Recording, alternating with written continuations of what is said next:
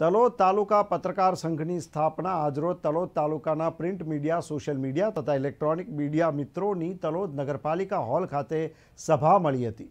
મળતી માહિતી મુજબ તલોદ તાલુકા પત્રકાર સંઘની સ્થાપના કરવા ચર્ચા વિચારણા કરાતા પત્રકાર સંઘના પ્રમુખ તરીકે રાવલ પ્રવીણભાઈ, એચ. ઉપપ્રમુખ તરીકે ઝાલા ધર્મેન્દ્રસિંહ તથા મંત્રી તરીકે રાઠોડ જીતુસિંહ એમ સહમંત્રી તરીકે પટેલ જયંતિભાઈ કે જ્યારે કારોબારી સભ્ય તરીકે પ્રતિકભાઈ વ્યાસ, કુમાર વણજારા દશરથભાઈ પરમાર, દિલીપભાઈ શર્મા, પરેશ પટેલ વગેરે મહાનુભાવોની વરણી કરવામાં આવી હતી.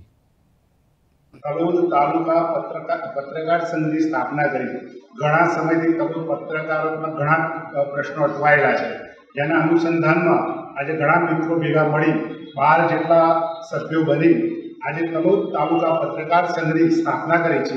જેમાં હોદ્દેદારો કારોબારી સભ્યો તમામની નિમણૂક કરવામાં કરવામાં આવી છે. પત્રકાર સંઘની સંઘની ઉત્પત્તિ થાય, ઉન્નતિ થાય એ માટે તમામ સાથે રાખી તમામ કાર્યવાહીને આગળ ધપાવવા હું સતત પ્રયત્નશીલ રહી.